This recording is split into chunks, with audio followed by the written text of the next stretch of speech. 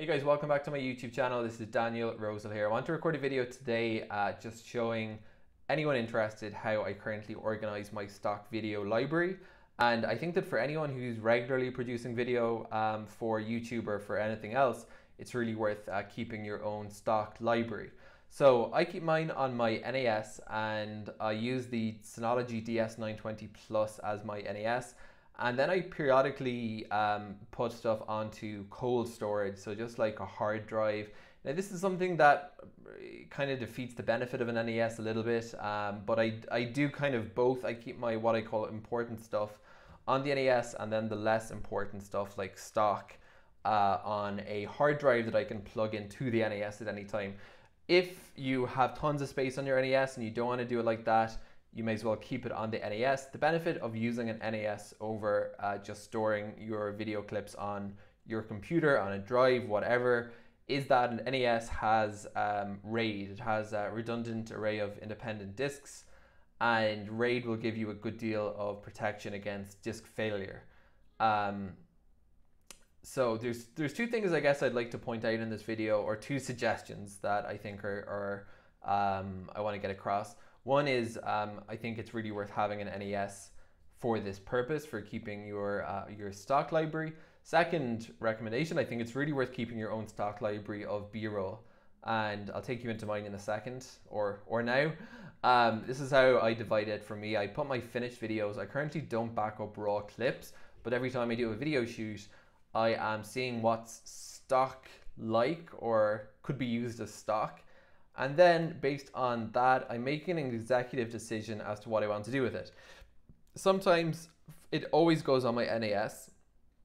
And sometimes I put some free stock videos up on Pexels. So what I do is I firstly put them in this folder called Pexels and free, um, and then I put them up onto uh, Pexels. I also sell some stock footage on Pond5, and the reason it's important to keep organized about all this stuff, somehow gone into my phone there, um, is that I have an exclusivity agreement with Pond 5, which gives me higher royalty. So you want you want to take note of what you do. So basically, everything here might be in Pexel, might be in Pond 5, and if it's in Pexels, I put it here so that I know not to put it, uh, not to duplicate and put it on Pond 5, because if I did Pexels um, and a Pond 5, technically I'd be violating my agreement with Pond 5. So I'm pretty careful about that kind of thing. Um, the second thing that would be sensible, it would be to uh, duplicate your stock library up to the cloud. So I have really bad home internet, as I've mentioned a bunch of times on this YouTube channel. So what I actually do is manually push it to the cloud.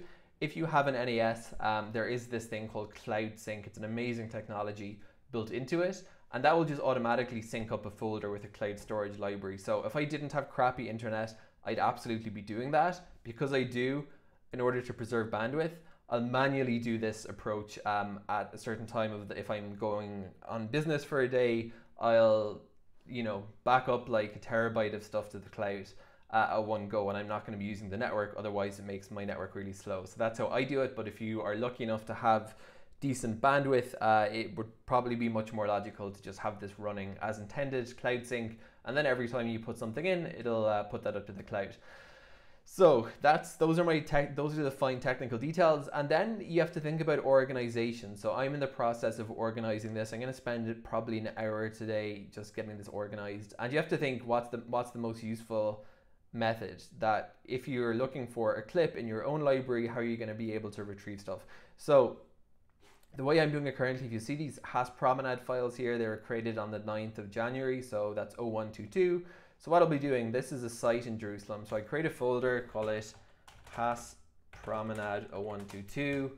Um, and then I just kind of group up all the stock. So Haas Promenade looks like I have two clips. I'm going to put that in to this new folder I've created. And um, then, because Haas Promenades in Jerusalem, I'm going to put this into the Jerusalem folder. So this is kind of my system, doesn't have to be yours, of course. I'm just showing you sort of it's a long process. So I'm in Jerusalem and I've got I've created uh, a few folders and I have all these to organize as well. The Embassy of Kosovo can go in its own folder. Old, I'll probably do a folder for Old City and then put in the various gates in Jerusalem. Um, and then I've just random food clips, etc., etc. So Yeah, this is my own stock library, and what I would use this for is if I'm record if I'm doing a YouTube video and I say, oh, you know, it'd be great to have a stock here of I don't know a gate from the old city. Haven't I shot the old city before? Yes, and then I'll go into my NAS and I'll pull out my clip and put that into my uh, uh, directly into my editing timeline, um, and that's basically it. So I think it's definitely if you're doing a lot of video production um, it's a really worthwhile endeavor to have your own stock library. I've asked around on Reddit if there's like a specific program that's good for managing stock. I don't think anyone really had one, so I think this is probably um, about as good as a methodology you're going to find. Just in other words, organizing it as a file system, but do put it on an NAS if you have one.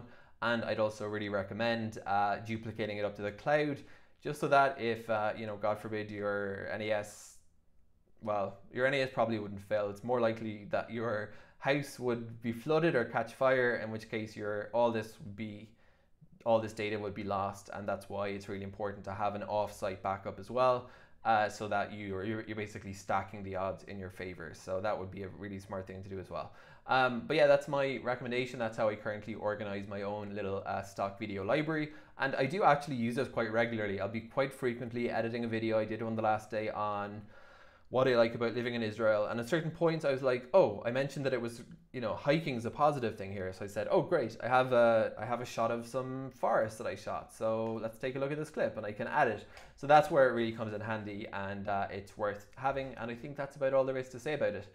Uh, I hope this video was useful. And if you'd like to get more videos from me, please uh, feel free to subscribe to this YouTube channel.